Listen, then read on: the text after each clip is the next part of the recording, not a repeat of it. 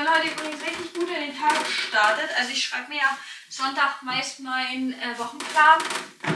Und boah, bin dann heute aufgewacht, die Schulkinder gemacht. Flori ist irgendwie gar nicht aufgestanden, weil auch, ich weiß gar nicht warum, ist auch egal. Schulkinder habe ich gemacht. Dann habe ich meinen Powercocktail getrunken, dann habe ich Sport gemacht, dann habe ich Dehnung gemacht. Dann habe ich äh, neurogenes Zittern gemacht, Atemübungen, dann war ich duschen. Dann kamen die Mädels zum Duschen dazu, also die Kita-Kinder.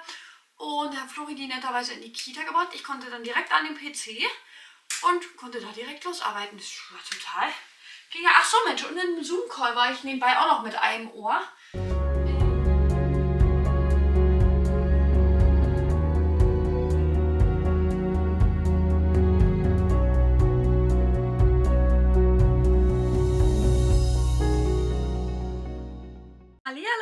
Und herzlich willkommen zu einem neuen Video von mir. Ich begrüße euch. Schön, dass ihr da seid. Ein Hallo aus meinem super chaotischen Büro. Ich bin jetzt hier fertig und habe mir heute nämlich äh, extra aufgeschrieben, dass ich mich bei euch melden muss. Wir waren ja jetzt noch mal eine Woche in Kroatien. Ähm, Firmenreise und ich und Flo waren noch nie so lange von zu Hause weg.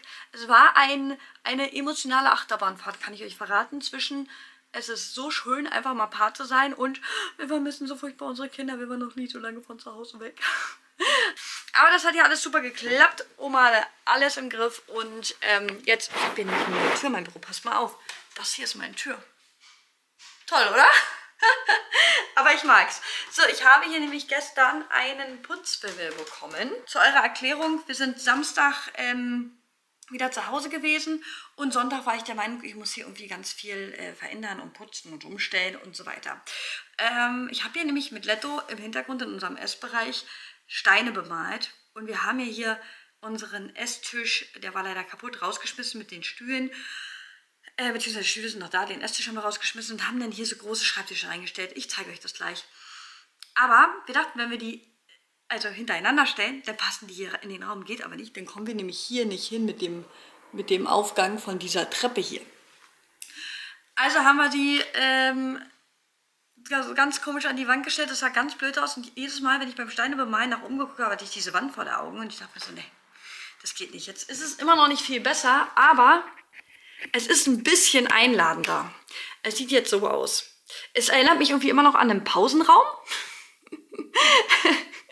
wenn ich an die BMW-Zeit zurückdenke. Sieht aus wie ein Pausenraum.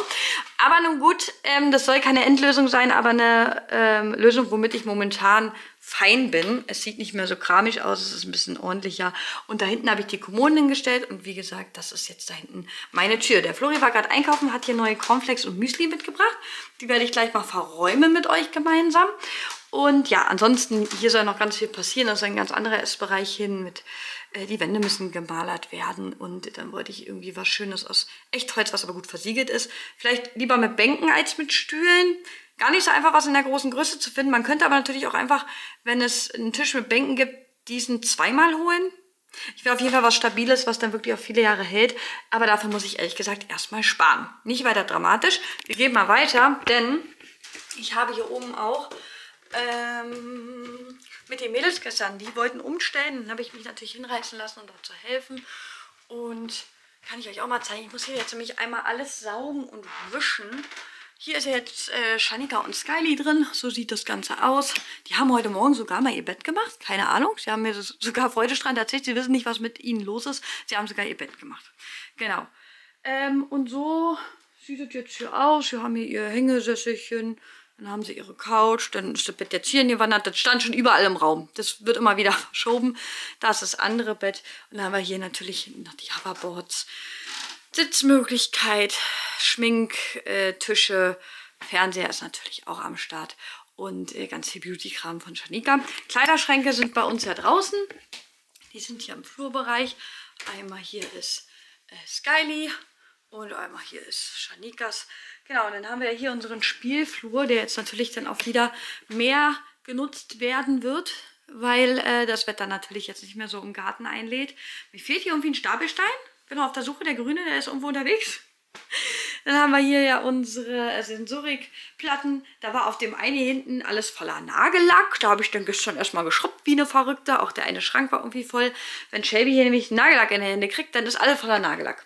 Dann haben wir hier noch die Verkleidungskiste, ein bisschen Duplo, ein paar Bücher, Küche, äh, Puppenhaus, die Riesenbausteine, ein bisschen was an Zubehör fürs Puppenhaus. Hier unten liegt aber auch einiges drin. Dann haben wir hier noch diese Klettermöglichkeiten und ein paar Stoffbausteine.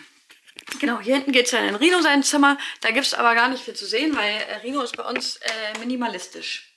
Der hat ähm, eine Couch, ein paar Schränke, einen Fernseher, eine Playstation, ein paar Bilder, das war's. Der will nichts. Also der ist, der ist einfach, der ist einfach so. da musste ich mich auch erstmal die Jahre dran erinnern. Ey, einen Kleiderschrank hat er immerhin. Und Manny ist ja hier oben. Der, ähm, wir haben gestern hier alle ein bisschen aufgeräumt. Der hat hier sein Reich mit ähm, Couch und Schreibtisch und äh, Bett und hier natürlich auch Playstation 5 und sowas, was die Kiddies halt in dem Alter so haben. Jedenfalls seht ihr, hier ist dieser Raum schon viel belebter, weil Jermaine ein ganz anderer Charakter ist, genauso wie, so wie Shanika und Skylar, die haben immer gerne viel Kram. Aber Sarino ist da komplett anders. Wir haben da oben auch noch diese Dinge rangehangen. Das war eigentlich mal von Skylar ihrem Bett. Weiß nicht, ob, mir das gefällt. Muss mir aber auch nicht gefallen. Sondern den Kiddies, genauso wie sie hier den Vorhang Seht ihr den Lichterwagen? Einfach mit einem Raum. Aber nun gut, die sind happy. Jeweils muss ich hier alles saugen und wischen. Und dabei nehme ich euch mal mit, weil ich vermehrt gelesen habe, dass ihr euch so Putzvlogs ähm, wünscht. Genau. Gucken wir mal, was der Flori so treibt. Hallo. Der ist nämlich passend zum Putzvlog auch schon am Machen. Der macht Geschirrspüler, richtig? Und war auch schon einkaufen, während ich im Büro war. Hier wird alles fein eingeräumt. So ein fleißiger. So, und hier, ja, das kennt ihr von zu Hause, ne? Einfach einmal ausräumen, beziehungsweise einmal nicht. Wie oft räumen wir die Geschirrspülmaschine aus? Floris Job ist das? Dreimal. Dreimal am Tag, ne? Ja. Verrückt. Ach cool, wir haben neue Sodastream-Flaschen. Die sind auch gut. Ähm, Im Flur muss ich die Teppiche alle wieder hinlegen. Die hat Oma, als wir nicht da waren, alle weggeräumt. Und die lege ich wieder hin. Und da muss ich auch einmal Ordnung machen. Das ist das äh, Kinderzimmer der Kleinsten. Ist halt ein Kinderzimmer. So sieht es halt auch aus. Ne? Einmal Ordnung machen, alles einmal durchsaugen und durchwischen. Aber ansonsten ist hier wirklich relativ clean, weil wir ja gestern, wie gesagt, ganz viel äh, geputzt haben. Gut, meine Couch sieht auch aus, als äh, ja, hätte man da drauf eine Party gefeiert. Wird ja auch quasi täglich. Ich habe hinten noch meine Kristalllampe an. Guck mal, wie schön die aussieht. Die finde ich total toll. Die gibt es beim Action. Nicht, nicht alle Kristalle, ich glaube zwei habe ich dazugelegt, aber ansonsten gibt es da bis auf zwei Kristalle alles als Pack gerade. Ich weiß aber nicht, wie teuer das ist. Und noch ein paar neue Kerzen habe ich hier auch. Immer wenn die leer sind, dann mache ich da meist einfach Teelichter rein. Und benutze das Glas einfach weiter. Und hier drüben Genau das gleiche auch. Sarino war hier sehr kreativ. Der macht nämlich gerade so ein, so ein ähm, Praktikum. Da hat er das gemacht. Und diese, diese Buchstaben. Total schön. Genau. Ja, na gut. Dann legen wir los. Genug gequatscht. Das letzte Teil, was nach oben kommt. Die Kamera und der Wischer. Ich habe schon Eimer und Staubsauger hier parat gestellt. Und Flori macht, glaube ich, draußen mittlerweile, äh, derweil, wollte ich sagen, Erstmal Luft holen. Hoch und hoch runter. Die ähm, Terrasse, weil da stehen ja noch unsere ganzen Gartenmöbel. Und ja, die wollen wir natürlich vor dem Herbst ein bisschen schützen. Nämlich das hier einmal alles gut mit euch zusammen. Uh. Damit wir hier gleich in Ruhe wischen können. Ich bin heute übrigens richtig gut in den Tag gestartet. Also ich schreibe mir ja Sonntag meist meinen äh, Wochenplan. Und boah, bin dann heute aufgewacht, die Schulkinder gemacht. Flori ist irgendwie gar nicht aufgeschaut, weil auch, ich weiß gar nicht warum, ist auch egal. Schulkinder habe ich gemacht. Dann habe ich mein Powercocktail getrunken, dann habe ich Sport gemacht, dann habe ich Dehnung gemacht. Dann habe ich äh, neurogenes Zittern gemacht, Atemübungen, dann war ich duschen. Dann kamen die Mädels zum Duschen dazu, also die Kita-Kinder. Und hat Flori die netterweise in die Kita gebracht. Ich konnte dann direkt an den PC und konnte da direkt losarbeiten. Das war total. Ging ja, ach so Mensch, und in einem Zoom-Call war ich nebenbei auch noch mit einem Ohr. Ähm, weil der um 8 halt angefangen hat und ich ähm, Viertel vor acht versucht habe, da reinzukommen, aber der war so voll, dass es einfach kein Platz mehr war. Und dann bin ich erst so zur Hälfte, ich glaube so um 8 Uhr 50, 8.45 Uhr bin ich da erst reingekommen. Dann habe ich so mit einem Ohr gehört, mit dem anderen Ohr habe ich die Kiddies gemacht, weil es so spannend war. Naja, jedenfalls ist schon richtig viel erledigt. Jetzt, wie gesagt, Büro eigentlich, naja, fertig ist man da nie, ne? aber einiges hinbekommen. Und jetzt einmal saugen und wischen. Ich gucke so, ob ich vorher irgendwas hochheben muss, sonst bin ich da nur am Fummeln dabei. Ich nehme euch natürlich im Zeitraffer mit, ne? Das ist ja sonst super langweilig für euch. Aber falls ihr irgendwo eure Motivation findet und auch noch saugen müsst, wir machen es zusammen. Let's go, Mädels.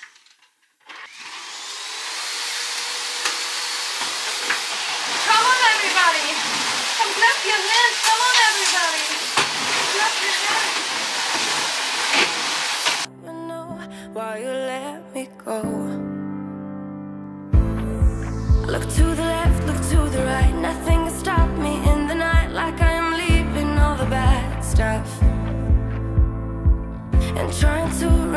strong. I know it's good if I'm alone. I got it, I gotta go, go, go. Running to better times. Go, go, go. From my emotions, I'll go, go, go. Running. Ähm, äh, war schon wieder Akku leer, ne? Ich und diese Kamera wären einfach keine Freunde. Ähm, ich bin jetzt oben eigentlich noch beim Saugen, muss auch noch einen Akku holen. Hab gesehen, hier jetzt schon voll voran. Mariano ist hier schon voll am ähm, Abbauen. Tischdecken weg, Stühle zusammen hier. Äh, Katzen, ja, die essen auf dem Tisch. Lohnt sich. Hinten ist noch eine Lichterkette an, die müssen wir gleich mal ausmachen.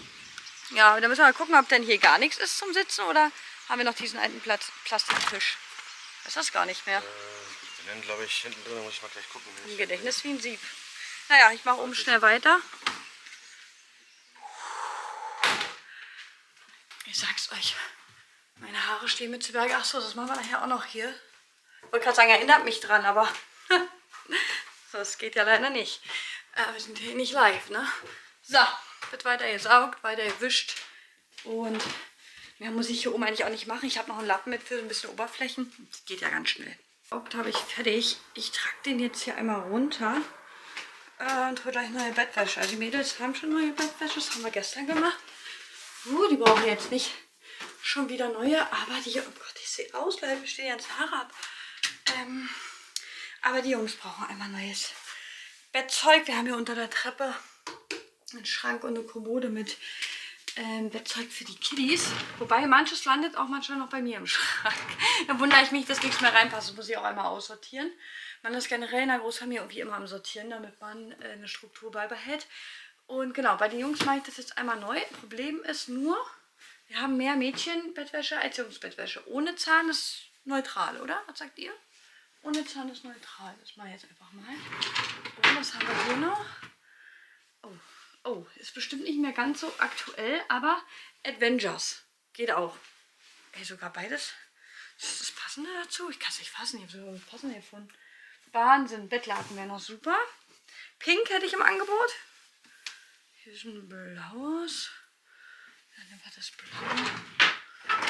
Aber bevor ich jetzt das Bett beziehe oder die Betten, wische ich schnell. Kann ich einmal die Fenster auch nebenbei aufreißen. Lege ich hier kurz hin. Upp. Dann will ich auch noch mal so einen Schreibtisch äh, stehen. Für die Mädels. So, einmal Fenster auf. Hoppala. Und hier drüben auch. Perfekt. Bei Manny auch. bei Manny, Manny muss ich so ein bisschen lachen. Ich habe ihm gestern gesagt, dass er doch auf seine Decke lieber, äh, auf seine Couch lieber eine Decke machen soll. Wegen Flecken. Ähm, weil die ja doch mal so anfällig sind, Couch, ne? Und dann äh, sagt er, ich weiß nicht wo. Ich sag, geh mal unten gucken. Im äh, Wohnzimmer, im Bettkasten, bei der Couch, da sind Decken, da ist eine grüne, die passt auch in dein Zimmer. Okay. Er holt sich die und Stunden später sage ich zu Flo, wo ist denn mein Geschäftshandy? Ich finde einfach mein Geschäftshandy nicht, ne? Und irgendwann saß ich denn da, bin das nochmal alles so durchgegangen und habe gesagt, ich weiß, wo es ist. Ich habe Manny gesagt, der soll sich eine Decke holen. Aus dem Bettkasten. Und Auf der Couch lag mein Handy und es ist bestimmt runter an den Bettkasten gefallen, als er es hochgemacht hat. Und Bild habe ich geguckt, da lag das wirklich im Bettkasten. Flo du bist wahrscheinlich eine Hexe. Und dann habe ich ihm heute Morgen erzählt, er sagte, ach, das war das Geräusch. war erstmal stundenlang das Geschäftshandy weg, ehe ich darauf gekommen bin. Naja, so, einmal schnell wischen. Und dann haben wir es auch schon. Achso, hier im Flur würde ich auch die Fenster einmal alle aufreißen. Umso schneller trocknet das hier. Perfekt. Wupp. In der Hoffnung, dass es jetzt nicht regnet und nicht vergessen, die Fenster zu schließen. Das wäre so der Klassiker. So. Hier liegen noch ein Hautsushis. Die packen wir mal hier nach oben.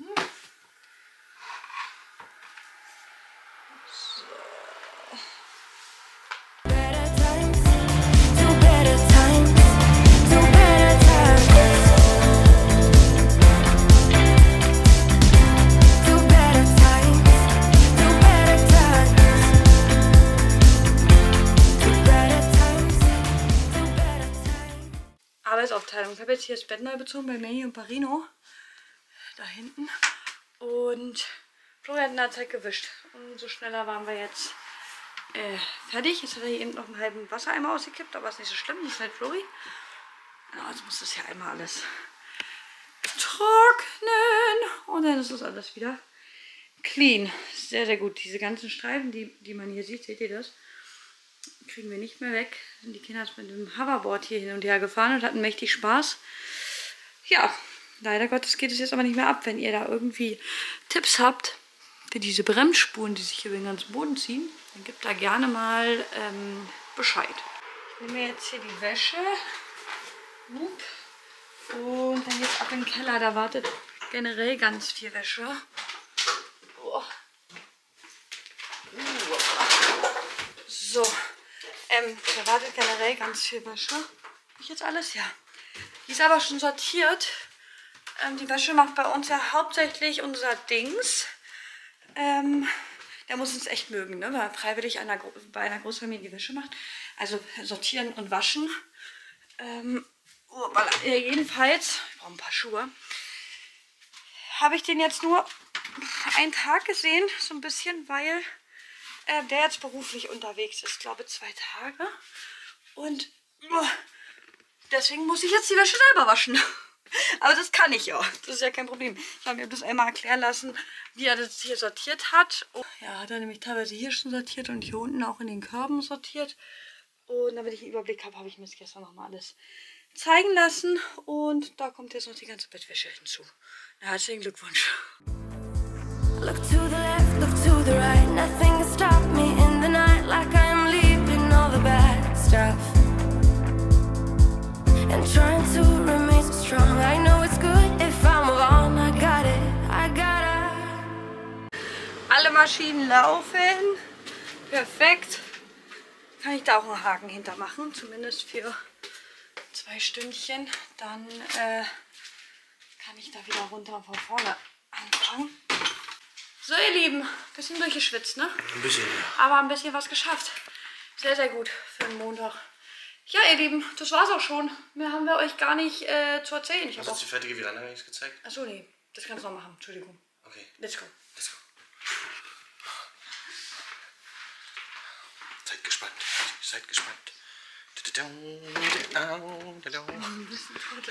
Tada! Einmal leer. Jetzt auf der Mülltonne. So, Mülleimer haben wir jetzt noch. Alles, was vom Tisch war, habe ich jetzt da in die Box reingemacht. Ich habe da, glaube ich, auch ein Spinnennest gefunden. Ich weiß es nicht. Ich habe einfach schnell wieder alles rein und zugemacht. Das war mir ein bisschen suspekt. Ja, ansonsten, Veranda ist leer. Die Lichterketten bleiben, glaube ich, dran, richtig? Ja. Und jetzt muss ich noch gucken, oder wir holen bei Thomas Phillips mal, vielleicht die kosten 20 Euro so ein, so ein Tisch mit Stühle. Aber ich glaube nicht, ob wir die noch haben, weil die waren, glaube ich, komplett, Plastik? ja, komplett, dass wir wenigstens was zum Sitzen hier haben, weißt du, was ich meine? Ja, aber ansonsten, äh, wie gesagt, eine Menge geschafft. Hast du schon mal gefilmt? Wie meine schicken, sexy Wollsocken Schön, im ja. September? So muss es sein, oder? So stimmen wir uns alle einmal gemeinsam in den Herbst ein. Exaktement. Pool müssen wir noch lernen die nächsten Tage. Jo.